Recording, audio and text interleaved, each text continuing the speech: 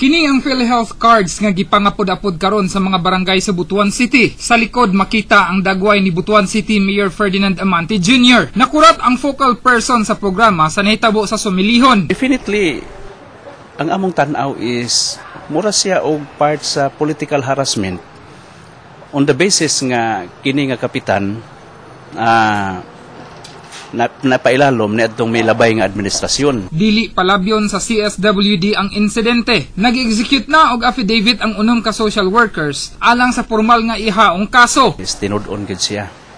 O dili siya palabyon tungod kay mahimo niya siyang mura ba og delikado nga president sa ubang mga kapitan nga pwede na iharas ang mga personnel labi na ang CSWD. Buot unta sa abogado ni Kalo nga magpakahilom una sa kaso samtang wala pa nadawat ang kopya sa ihaong formal nga reklamo. hopefully, ang mga complainant will reconsider their position.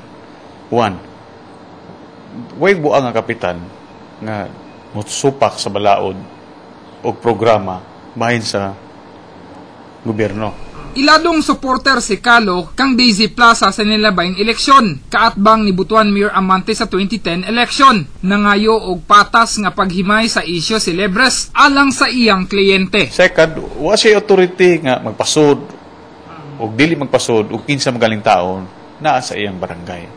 In fact, gusto na nga programa nato kay makabenepisyo man na sa tanan including sa iyang constituents o siya mismo. Now, kung mupursugin sila sa kaso, we have no choice to receive the complaint and answer the complaint. Rog Cultura, Patrol sa Caraga.